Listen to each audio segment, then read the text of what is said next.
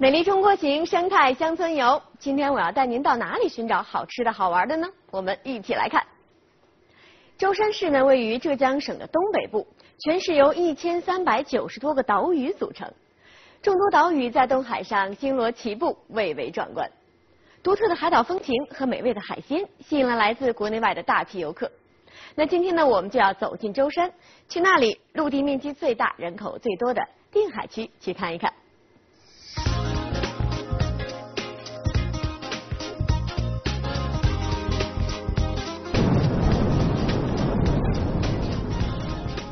我现在是在舟山市，那据说舟山市啊有一千三百多个岛屿组成，那景色呢肯定是全国独一无二。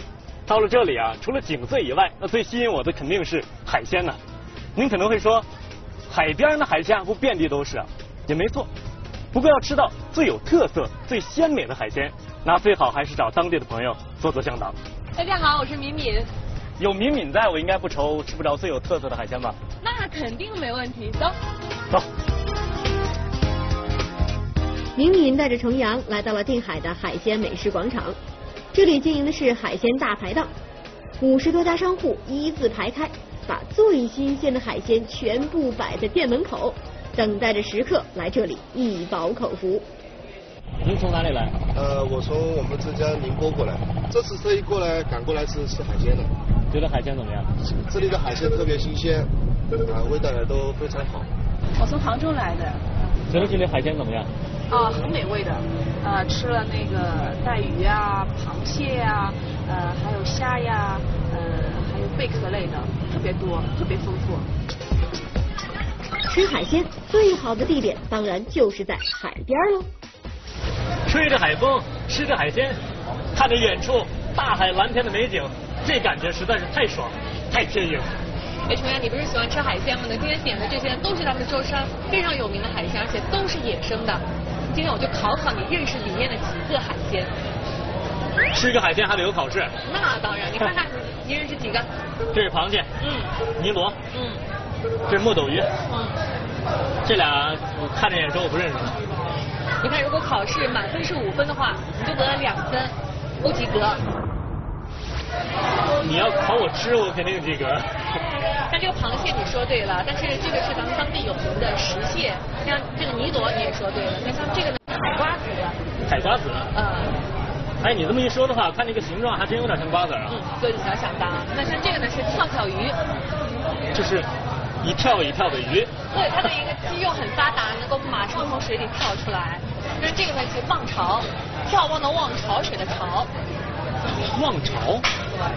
对。怎么叫望潮呢？它能够准确的知道啊，这潮水是什么时候上来的。啊，就是根据它的生活习性起的名，对不对？是。那你知道这些海鲜是怎么捕上来的吗？我之前看过一篇文章，嗯，就写的是像大海要吃的，像海产品啊越来越受大家的喜爱，像陆地上的食物啊，比如说割麦子、掰玉米、摘一个水果蔬菜的，大家都已经非常熟悉了。嗯。但是海里的野生海鲜到底是怎么捕捞上来的？您知道吗？比如说这个，我相信有很多朋友都不知道，其实我也不是很清楚。哎，敏敏，要不咱们一起去看一看？好啊。来定海旅游，除了可以吃到鲜美的海鲜，还可以到滩涂上体验一把海捕的乐趣。现在，敏敏就带着重阳来到了马澳镇的滩涂。这就是退潮啊！我退潮的景色真的特别漂亮啊！你看这个海的。远近的颜色都不一样，而且特别的明显。那等一下在，这滩涂上就会留下很多海产品。我们吃的五样海鲜，这滩涂上就能找到四样。等一下看一下，你能找到几样？你看，现在还不算海捕的旺季，到了每年的七八月份，这里每天都会聚集上百名来自各地的游客。我们下去之前要先换鞋。下滩头还要换鞋啊？对啊，万一脚受伤了。小心被划伤是吧？穿上胶鞋就可以下到滩涂里面找海鲜了。刚刚吃过的五样海鲜，这里面就有四样，这重阳能找得到吗？这里涨潮就会变成海水，落潮就会变成滩涂。说是要找海鲜，可是。要想在滩涂里走上两步，都不是件容易的事情。在有些地方的海边，因为含沙量较多，落潮之后会形成地面较硬的沙滩。这里因为含沙量少，所以形成了这样的滩涂。哎呀，我的鞋！看着重阳啊，刚刚才走了几步，鞋就已经掉了。鞋呀！到了这样的滩涂，看来还是不穿鞋更方便。说什么？我都没关系。好起来，好起来。就不用穿鞋了。不要穿。那这个这个土里泥里不会有没有关系，不会被割伤什么的。哎哎哎，不够，这是他俩弄的。那拖鞋多方便。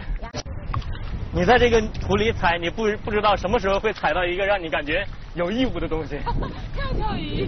我不知道那会不会是海鲜。哎，敏敏，就在这个泥里就能找到那些海鲜？对啊，都在这里面。等一下，我们去近一点的地方再。要找海鲜，就得往里面多走一段。不找海鲜呢。没过多长时间，重阳就有了新发现。这个有鱼，这鱼，呀，这个，这不是跳跳鱼啊？对啊，这个这个一得来全不费费工，往哪往哪往哪跑？往哪？哇塞，这跳跳鱼还真跟它的名字一样，在泥里一跳一跳的。跟长到一样了。你看，开门红。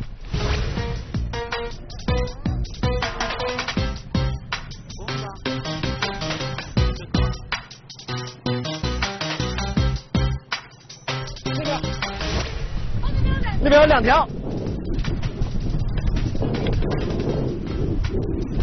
哎，哎，哎，这儿，这完全是混泥摸鱼啊！每到天气好的时候，都会有本地和外地的游客到这里找野生的海鲜。重阳找到了跳跳鱼，脚下也比刚才利索多了。他接下来找到的会是什么呢？大叔，哎，这不尼罗吗？是您刚才捡的吧？您捡了多久能捡这么多尼罗？我今天这这位来了，这个人。半个小时。半个小时就捡了这么多？啊。我，你捡这个泥螺，你回去是自己吃还是怎么用啊？是啊。自己吃啊？您在捡什么？我，你捡捡泥螺？哇，这大叔捡了这么多。涨潮了多。哦。大叔说什么？涨潮了就多了，刚才潮水涨潮退下去以后，现在就说很多泥螺留下来了。啊，不知道大家能不能看清楚？其实，其实比这个泥的颜色还是要深一些的。如果常年有这个捡泥螺经验的人，应该会很容易发现。但是像我这种从来没有捡过泥螺的人来说，不是特别的好找。泥螺外壳呈卵圆形，壳薄脆，对温度和盐度的变化适应力强，易生长，在东海和黄海产量最多。有很多人啊，都是来捡这个尼罗，而且回去就能吃，那也说明咱们这个地方生态环境特别的好。是的，这个海水很干净。也就是说，我们要善待大自然，那大自然就会给我们一些回馈。就像现在，我们可以随手就能捡到一些我们非常喜欢吃的野生的海鲜。这种融入大海、融入大自然的感觉实在是太爽了。你看，从这个角度看远方，舟山群岛啊，看得更清楚。远处上面就是蓝天、白云。哎，重阳，你先别发这么多感慨，任务还没完成呢。剩下的两样海鲜能找得到吗？跟我来。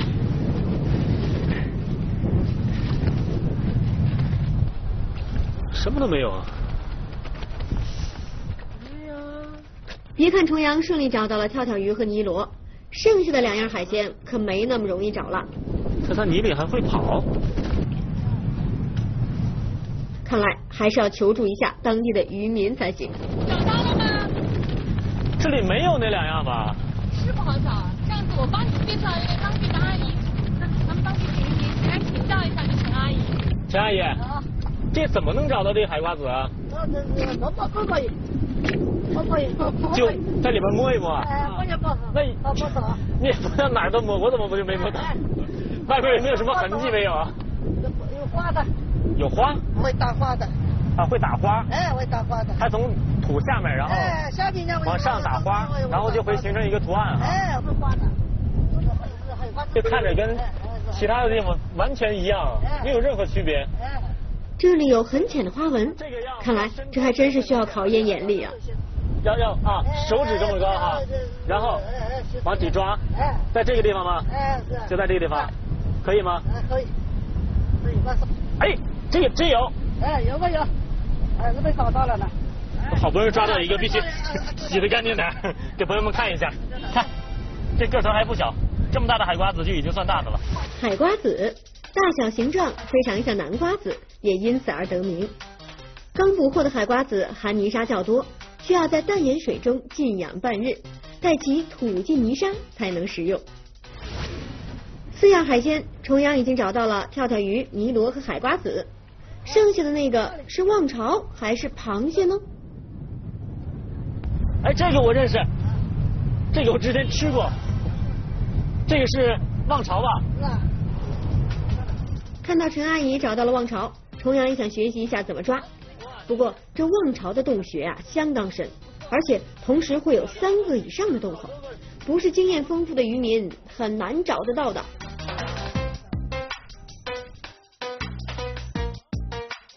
就看陈阿姨在泥里抓呀捏呀，然后就拎出一个望潮来，这个太难了，这个这个真我真学不会。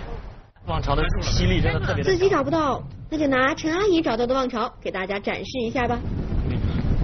见证奇迹的时刻到了。哎嘿，像不像一滴水？像吗？望潮也叫章鱼，是东海一带著名的水产品，躯干近似球形，穴居在海滩泥洞之中。望潮肉质鲜嫩，因其特殊的生活习性，故此得名。玲玲，哎，四样全部找齐。我看看，来，跳跳鱼、海瓜子、泥螺，还有望潮，行啊。怎么样，还不错吧？嗯，不错。但是有些是你自己找的，有些是阿姨帮助的。哎。那些不是我找不到，那些太难找了。是，那勉强算你合格吧。那我们吃的五样海鲜里面还有一样螃蟹，这样是没有的，要等潮水合适的时候出海才能够抓到。出海，这个好。在等待出海的时候，林淼带着重阳领略一下定海的风光。在定海的群岛当中，也会有像这样的山谷，让人感觉像是来到了西南山区。在这样幽静的山谷之中喝喝茶，也是别有一番滋味。不过到了定海，最有特色的当然还是群岛风光了。康熙呢曾经写过一个牌匾叫定海山，寓意是海定波宁的意思，定海就由此得名。那我们舟山呢有一千三百九十个岛屿，定海就有一百二十八个，像这样的地形在全国都是独一无二的。这些可能对于生活在这儿的人来说啊，已经习以为常了。但是对于像我这种游客啊，这种感觉就好像来到了一个童话世界，处处都是新奇。哎，敏敏，嗯，你看这么多都是海岛，那居民的出行是不是很不方便？没有啊，非常方便。你看，像这样的船随时都可以走，但是根据路程的远近，它价格是不一样的。像半天的话，大概是三四百块钱。那如果你不赶时间，它那边还有买票上船的，一个人五块钱，有固定时间。啊，也就是说，这个海面相当于咱们城市里的马路，然后咱们这种船呢，随时走的船就相当于海上的出租车，然后那种有固定班次的就相当于海上的公交车，对吧？对，也可以这么形容。在定海转了一圈，也到了可以出海的时间了。敏敏和重阳坐上了一辆海上出租车，来旅游的游客也可以租一艘船出海，沿途观赏海景，同时也能看看渔民捞螃蟹究竟是怎么一回事。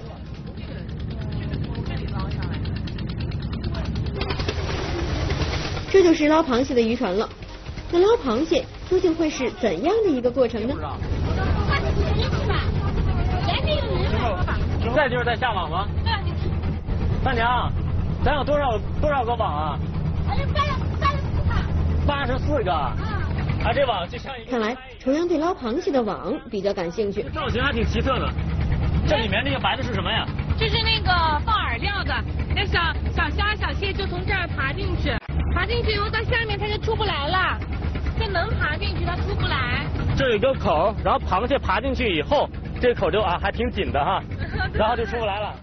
当地渔民就是用这样的网来捞螃蟹，把它们用绳子串起来，沉入海底，过上两三个小时之后就可以起网了。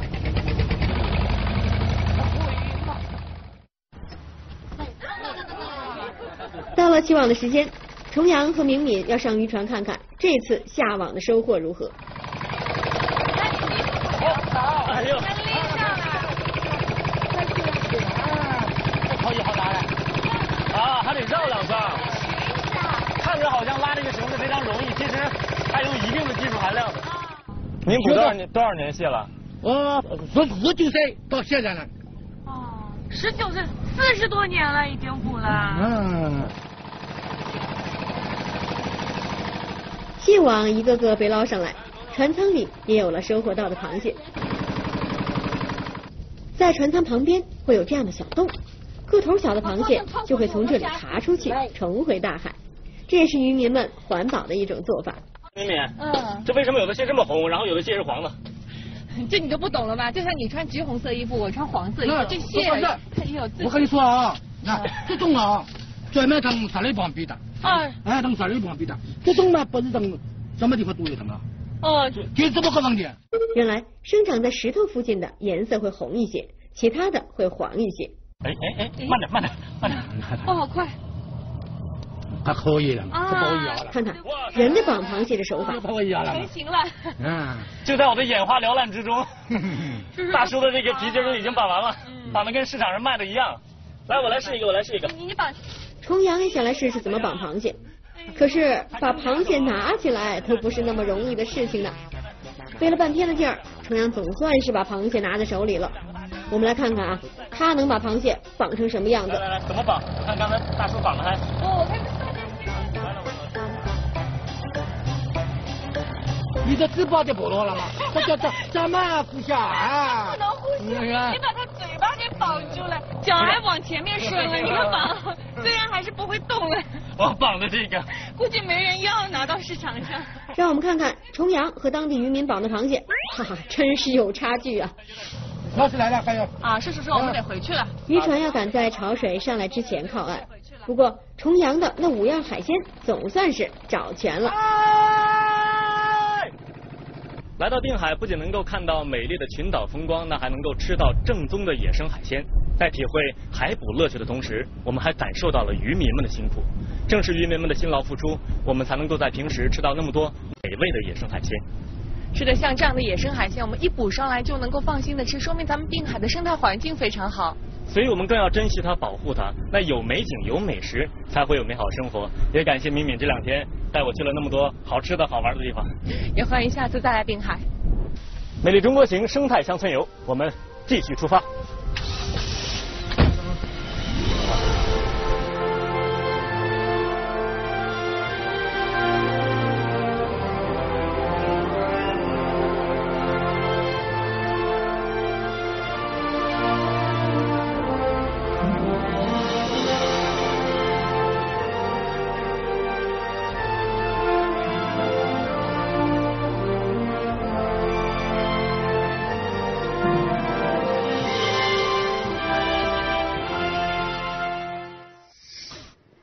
后来，我的同事对我说，在定海感受最深的就是那里的生态之美和人与自然的和谐之美。在滩涂上，游客可以放心的吃捕捞上来的野生海鲜；在渔船上，船舱旁边会为小螃蟹预留出重回大海的小洞。旅行之中的这些难忘的动人的细节，都会化为我们心中最美好的回忆。也许这才是人们热爱旅行的真正原因吧。好了，今天节目就到这里了，下期节目我们不见不散。走进鄂尔多斯，感受不一样的蒙古族文化。草原婚礼，出镜记者扮新娘，为何挨教训？看赛马，学骑马，深度体验草原之旅。其实我挺害怕的。敬请观看《美丽中国乡村行》，走进鄂尔多斯草原风情之旅。